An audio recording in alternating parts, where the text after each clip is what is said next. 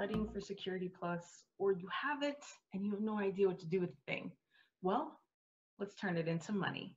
Now, Security Plus has some amazing focus areas, and to be honest, a lot of them. So you could be a system admin, a network admin, a security admin. Notice admin or administrator is a really common part of a job title once you get into the certification game, especially for those of you who are new to certs, meaning that you just got a cert or you're still studying for it. So to go in and be an administrator or an analyst is really a solid and common practice for entry level jobs for any cert that you get. But if you have taken the traditional CompTIA path and you have your A plus, your Net plus, and now your Security plus, well, you have a ridiculous amount of knowledge that you can really build on. And it's in different areas. So let's talk about what you studied during your Security Plus or what you're studying right now. So we're talking everything from the tech and tools of security all the way through security architecture, how to design uh, protecting a network, even identity and access management, so who can get into where. And we're talking both digitally and physically. You've looked at risk management, different types of vulnerabilities, algorithms, PKI. You have a lot of knowledge that you have foundationally put together with your CompTIA studies. Well, that makes you eligible for a whole heck of a lot. And having an open mind and a solid set of keywords is critical when it comes to a job search. You may not know exactly what you want to specialize in, other than you want to get your foot in the door for cybersecurity? Well, all of the words that are hanging out right here are keywords for your job search. And there are some pretty common job titles that you can look at as well. So when you're plugging away on Indeed or LinkedIn, looking for your next career opportunity, remember that not everything is going to have the word security in it. You heard earlier that I mentioned system administrator, security administrator, network administrator. So you might want to look at some other options. Maybe penetration tester, vulnerability analyst. Maybe you're looking more so to apply some of your past knowledge and experience and just jump into cybersecurity. Maybe you're going to be a security consultant. If you're looking to hunker down and climb the ladder, then security engineer might be what you're looking for.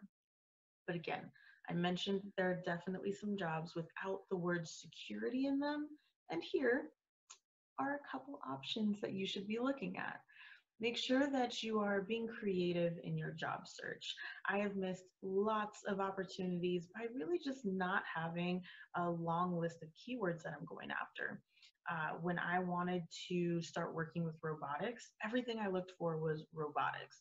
But really, the job I ended up, or the project I ended up working on, was mechanical.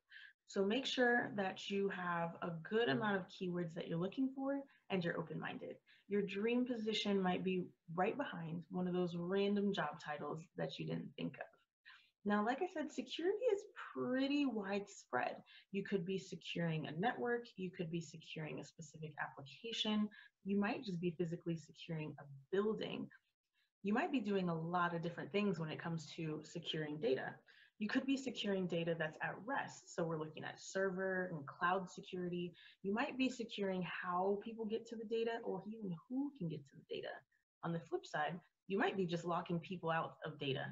What about out of the building itself? So maybe some physical security as well.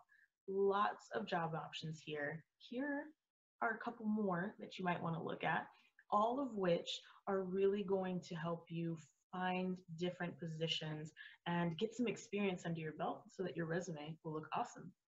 Another great tip that I give to all of my students when you are in a job search, just search for the actual certification itself. A lot of positions are going to have the certifications that they expect in the job description. So if you look for Security Plus or CompTIA Security Plus, then you may have a lot of different jobs pop up which will then inspire you to take a look at what positions you're eligible for. Another quick note with this new world economy and how we're all so well connected, you might be looking at remote positions, which means you are not restricted to your physical area.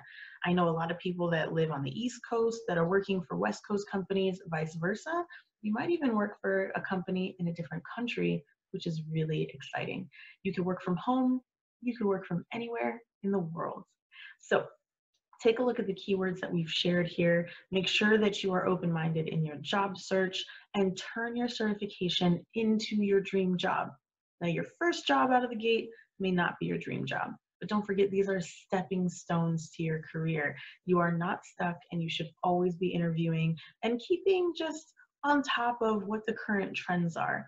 The more you learn, the more you network, and the more you have your face and your resume out there, the better chances you have of really landing your perfect job. All right, so what are your next steps? Obviously, subscribing to this channel if you haven't already. Connect with us on Instagram, and we will see you soon with new videos.